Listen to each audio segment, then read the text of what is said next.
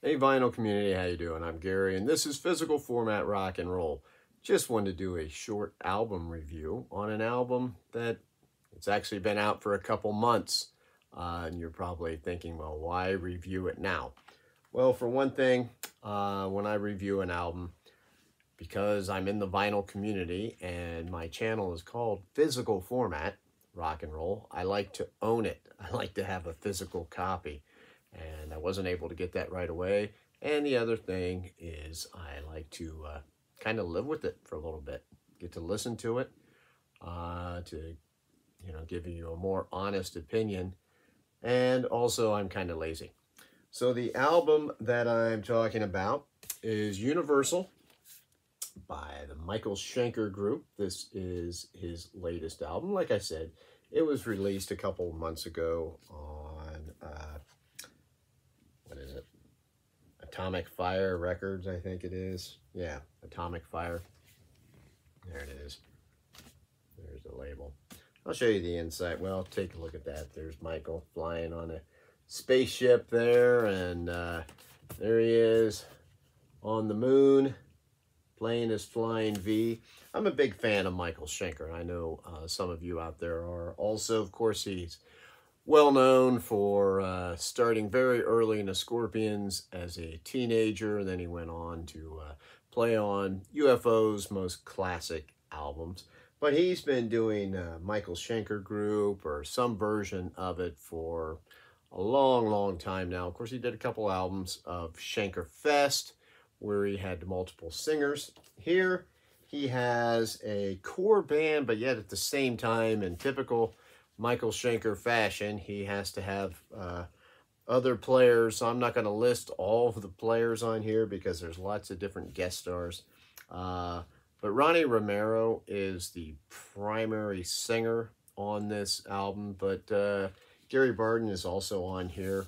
Uh, he makes a couple of appearances, and so does Michael Voss. Uh, Michael Voss and Michael Schenker produced the album. I will say Sound wise, it's nothing exceptional. Exceptional. I mean, it sounds fine, uh, but it doesn't really pop out at you like some albums do. But I will show you the vinyl real quick. It's kind of this, I don't know what you even call that. Kind of got a bit of a purple haze kind of thing to it. Purple haze like Jimi Hendrix. anyway, uh, this to me the more I have listened to it, the more I like it. I'm kind of glad I didn't talk about it when I first got it because I definitely like it more now. It has grown on me quite a bit.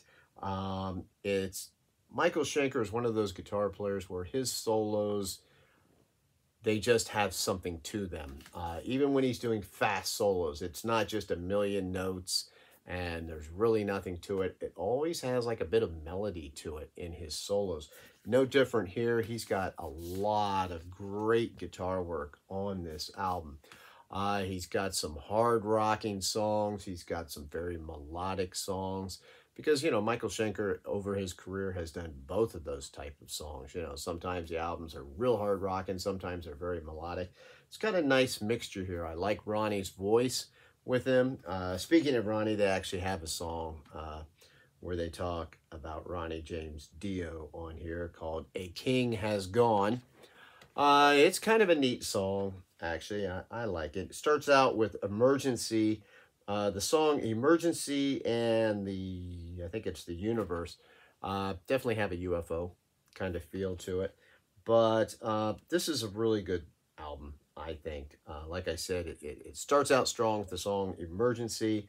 Side B starts out really strong with a song called Wrecking Ball. They're both pretty uh, fast, hard rockers, but there's lots of changes in here. Uh, Calling Ball, I don't know if that's how you pronounce it, but that's that's a good one. I think this also shows like uh, it's a good mixture of guitar work for Michael as far as it's not all the same. Uh, his last album uh, was okay, uh, but it wasn't that great. It had a lot of sameness to it. I think this has some variation to it, and I appreciate that. It's got a song on here called London Calling, which is not The Clash, by the way. A very melodic song. It's kind of reminiscing uh, about the uh, early 80s and whatnot.